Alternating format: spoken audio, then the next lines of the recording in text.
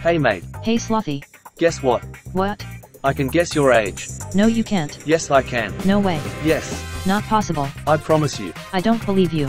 But would I ever lie to you? Um, yes I actually think you would.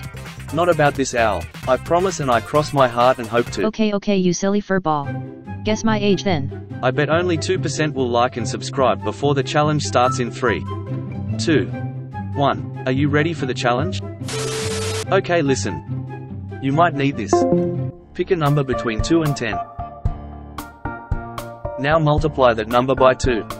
Make sure you enter equals after each calculation. Okay now add 5 to that answer. Then multiply that number by 50. Now add 1772 to your answer. Still with me? Okay, if you already had your birthday this year, then add another 1 to your answer. Right, last step, now subtract the year you were born. You should end up with a 3-digit number. Aw no I have four digits. Just jokes. The first digit is the number you chose. The last two digits are your age. And remember this trick will only tell you your age in the year 2023.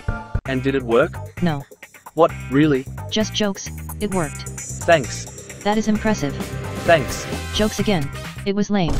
Cheers. Owly howly whoop whoop. Hubba hubba whoop whoop.